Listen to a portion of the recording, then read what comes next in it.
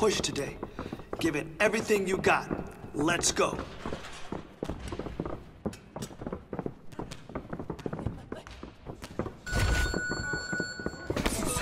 Now you're learning.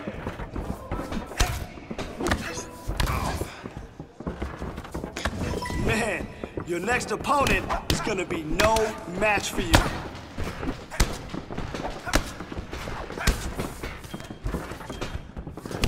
Nice punch. Nice punch. You felt that one?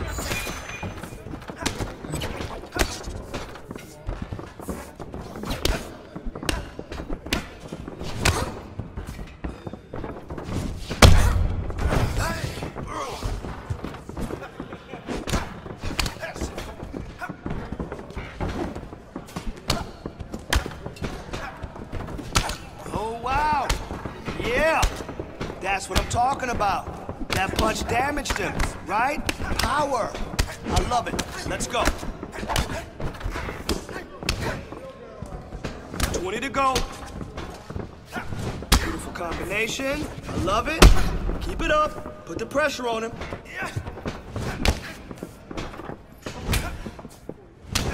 Great job in there. I can already see some improvement in your punches.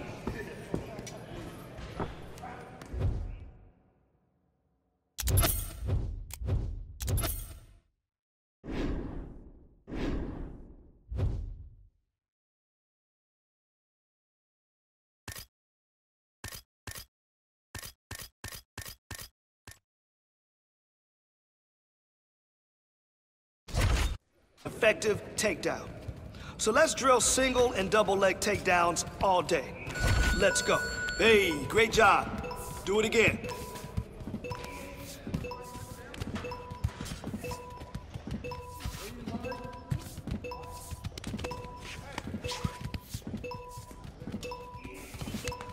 Right there, exactly. That's what I want to see. Keep avoiding those. All right, I like it. Swap your focus to the next set. There you go.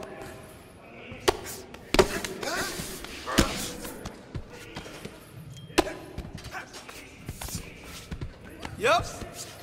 Keep doing that.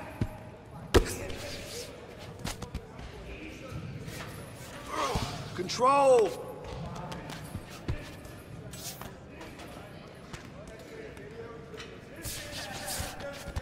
Let's go. 30 on the clock. That's it.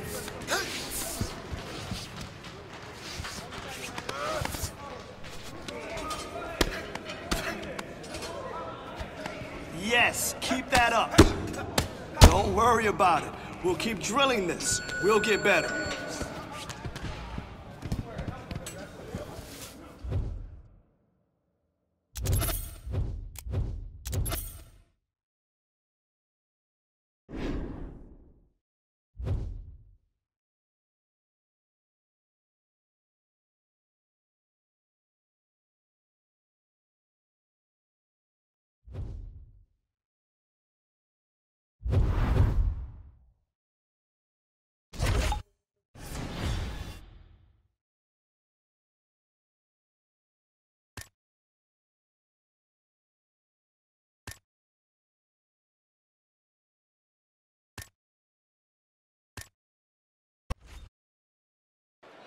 All right, coming up next, it's a UFC lightweight division bout.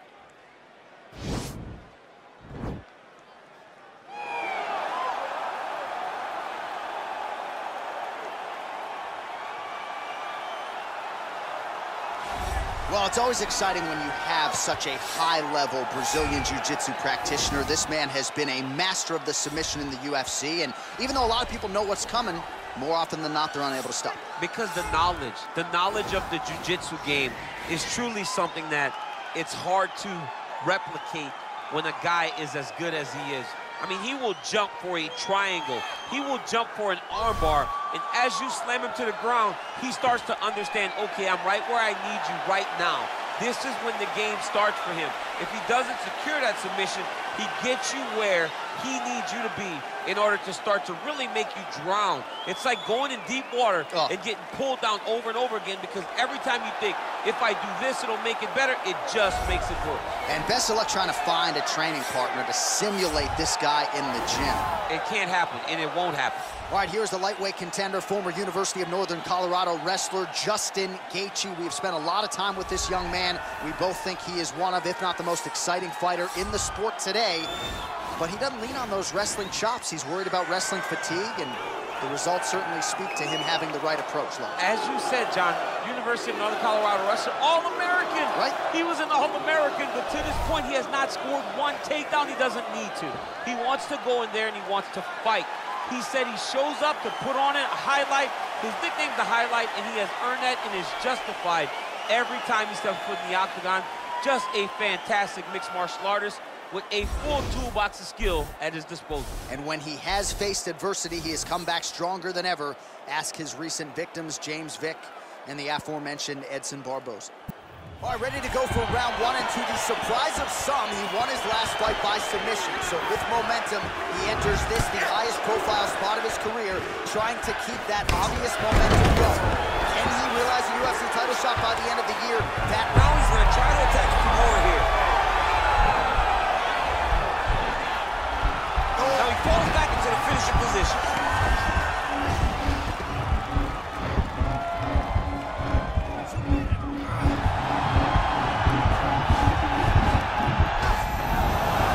Not tapping out tonight. All right, side control now, DC. When you get side control in a fight, what are you now trying to hip escape? He's just trying to move out of this position off the bottom.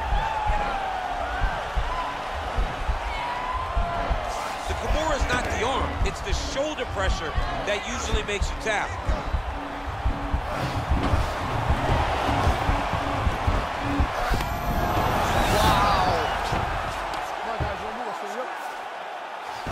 Gaethje's got him in a crucifix now, gonna go to work from the top. A lot of top pressure being applied here. Oh, man, this ground and pound is good. Probably my favorite striking realm in MMA, and he's as good as it gets. The problem is his opponent is not controlling his posture. He's allowing his opponent to get up, and when he does, he creates distance and space to land these beautiful ground and pound combinations. The Kimura is not the arm, it's the shoulder pressure that usually makes you tap.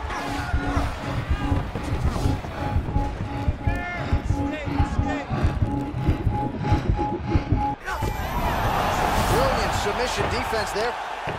Side control now, and certainly I would think more offensive options for the bottom fighter than in the half guard. Absolutely more offensive options because now you can just start to get away. You can just go to a wrestling stand-up.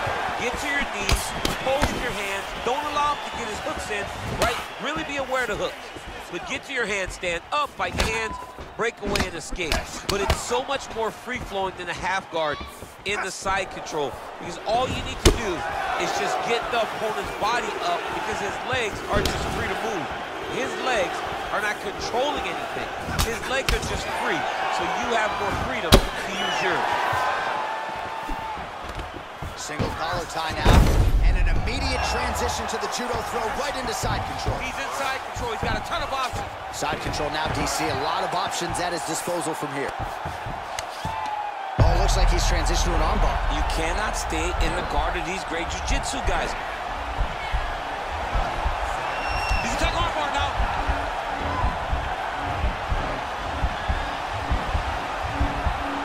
Continuing to try to manipulate the head here.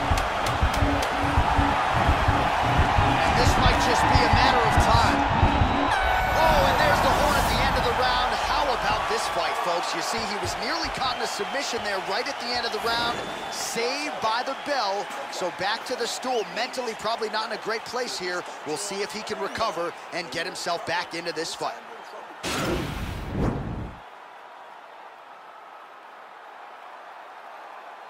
You got to recognize that when a guy starts to put his feet on your hips, you got to move him off, and you got to cover. You can't be off to an angle.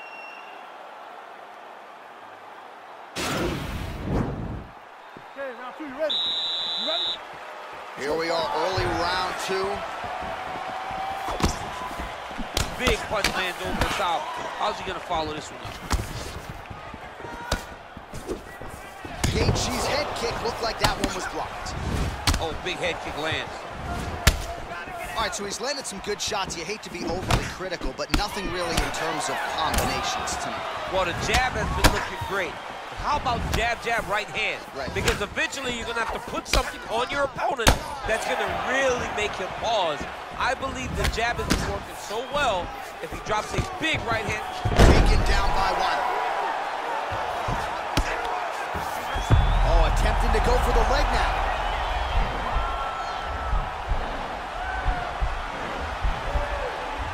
The problem with rolling leg lock in MMA, man, is you get beat up, especially if you're a little bit hurt.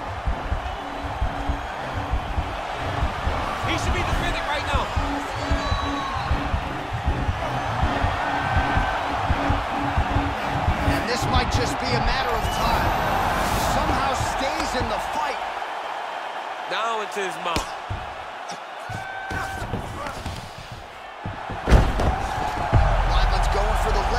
a submission opportunity here.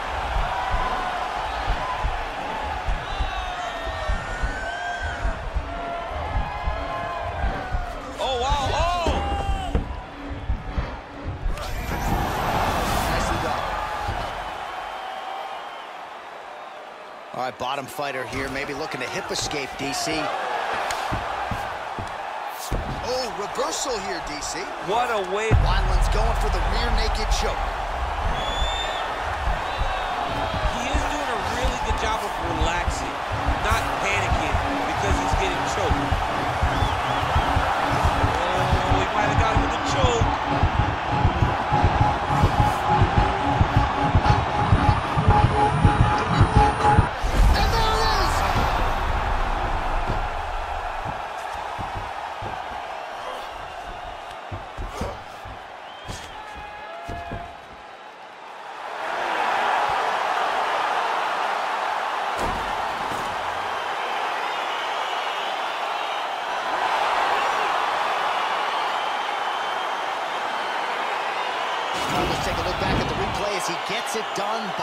Submission tonight, champ. He does a great job of staying patient. He doesn't rush or panic. You are never safe when you're fighting this guy. You're in a lot of trouble. You're in a lot of trouble the entire time when you're this good in the submissions.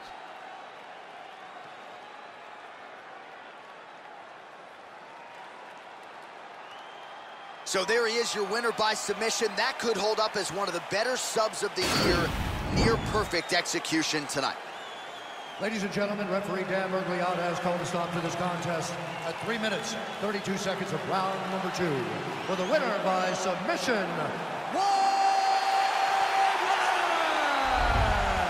All right, so there he is, all smiles and rightfully so after he gets the job done by submission tonight. You told me off the air before the fight that he was going to submit him, and that's exactly what happened. I mean, you know, this guy has such a great submission game that you cannot lay in his guard. And his opponent is known to lay in the guard. He made him pay for it tonight and got the submission victory.